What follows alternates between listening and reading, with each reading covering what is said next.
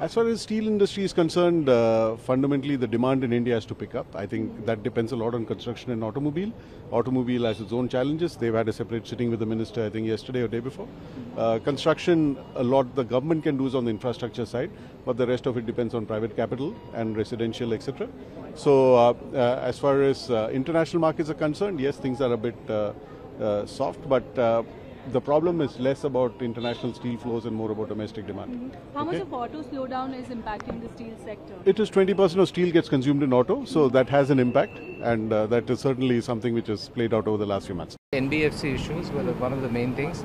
How do you ensure that there is percolation of credit so that demand stimulation happens? What can be done to specific some industry specific issues uh, like in the steel sector and some of the others to say how, what you can do to stimulate more investment and uh, ensure that uh, uh, and uh, that there is greater competitiveness of the industry as compared to the imports. So these I would say were some of the key things that were discussed on taxes. I think people were had some specific issues and also people are looking at greater certainty, a longer term policy, greater certainty. So I would say that was the, those were the broad themes. So was, did the the FPI issue also uh, uh, was crop up? Did the FPI Yeah, issue? FPI issue was mentioned, uh, but but I think uh, I'm sure that the minister is, is very and the team is very well aware of those And issues. So tomorrow it they're meeting the FPI. Yeah, meeting. so that's why the more idea was to pick up broader industry issues, but the FPI issues were also taken.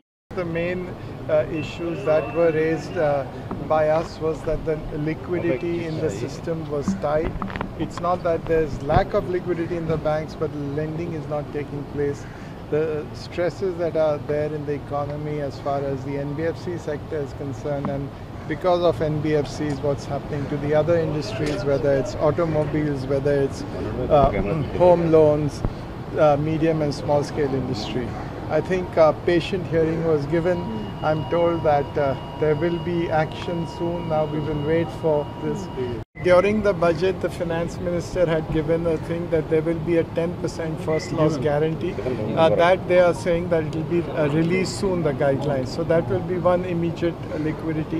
Yesterday, there were some other uh, things which RBI governor has also said. So we are hopeful that uh, liquidity should flow into the uh, uh, from the banks into the uh, economy. There was a question raised that do you want to have this limit of CSR?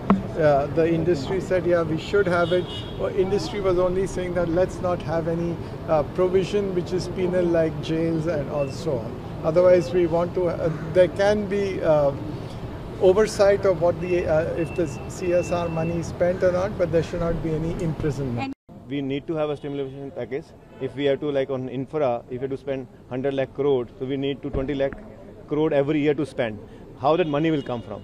So whether to monetize a land bank of government, uh, whether it is railway, whether it is PSUs, and what else can be done? So whether we have to relax a little bit of fiscal deficit and get some money extra, and where the government has to start spending it uh, to get the stimulation the whole uh, economy, which is the need of the hour. I think what uh, she said was that already a meeting has happened on Monday with the various banks chairmen, and there's already we have seen the outcome.